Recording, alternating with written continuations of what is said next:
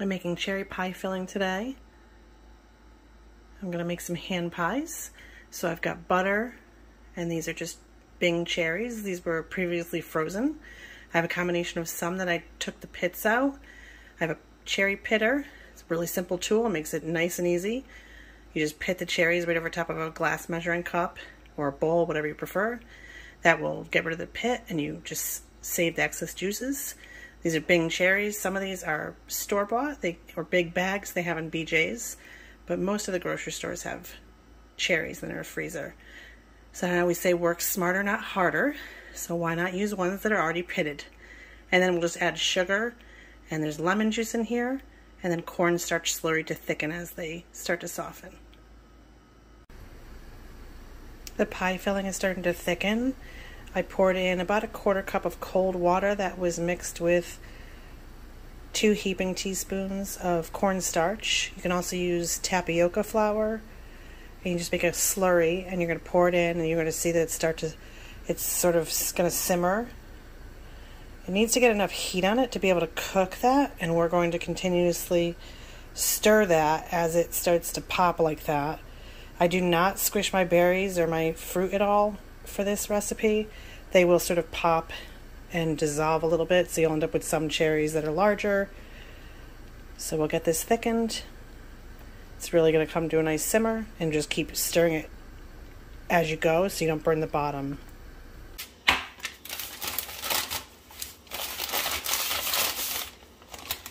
We're making cherry hand pies today. I'm using homemade pie crust. You can use homemade pie crust, store-bought pie crust, or you can certainly use bis refrigerated biscuit dough. Traditionally, they used a, a biscuit dough type of dough, and they usually did homemade, but you can use store-bought if you prefer. I do tend to like the pie crust in my recipes for hand pies. I do like a homemade pie crust as well. It's easier to work with. I can pinch off what I need. I make multiple bags that are in the refrigerator so the dough is nice and chilled. If the, Jill, if the dough warms up too much, then I just change out the bags. You can plop it in the freezer for a few minutes. I'm gonna make an oval shape. My edges are gonna be a little thicker. That way they pinch together nice. You can see the pieces of, the nice pieces of butter in this pie crust. And the cherry pie fillings, we made that a day ahead of time, or refrigerated it overnight, so it's nice and chilled.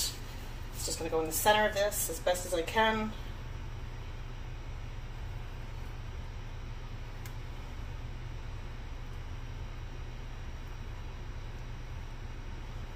I'm gonna fold the dough over, press it down a little bit, trim the edges. I will save the edges as long as I don't have it overworked as long as these are fresh.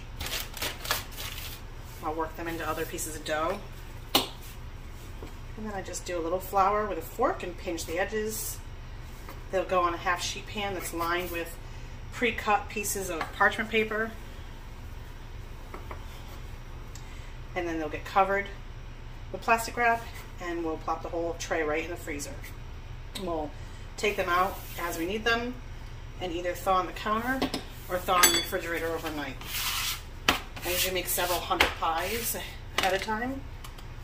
I have lots of people that usually ask for an entire tray. So that's what they look like at the end.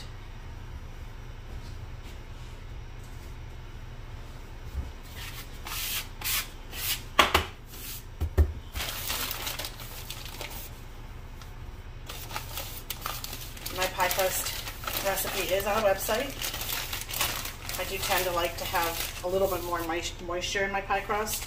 So I'll say that I do have a measurement on there of water. However, my personal preference is I just actually fill a two cup uh, glass measuring cup with ice cubes and then I just keep adding cold water to it. And I work with the pie crust and get it to clump together nicely. And as it clumps together, I put it into a large freezer bag and then put it in the refrigerator. I don't want the whole thing. I usually do a very large batch, so I don't want to make it into one big lump of pie crust at a time. I take it out as it becomes able to be sort of clumped together with your fingers. And mine, it is a little bit more moist. I'd rather have a little bit more moist so I can have roll it in plenty of flour. And that way it sticks together too and you you really don't have the issue of it falling apart. I can pick it up like this and it's totally fine.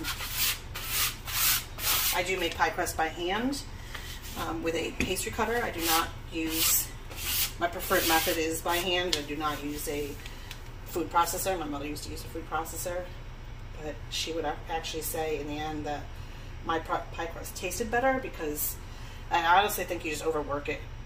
You have too much of a chance of overworking it when you're using a food processor and therefore it becomes tough. So I'm just going to turn this over, press the edges down, trim them. This is just a pastry wheel, but you can use a small pizza cutter.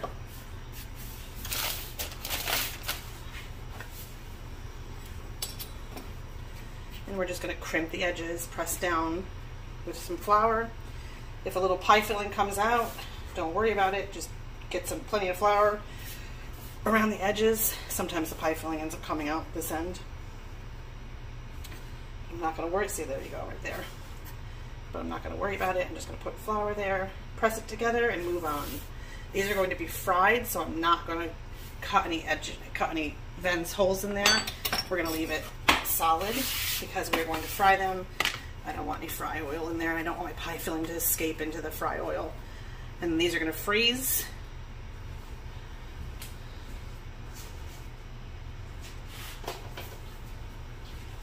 They're in a half sheet pan. I do five across, three rows. You can fit six. I just like that they're flat with five.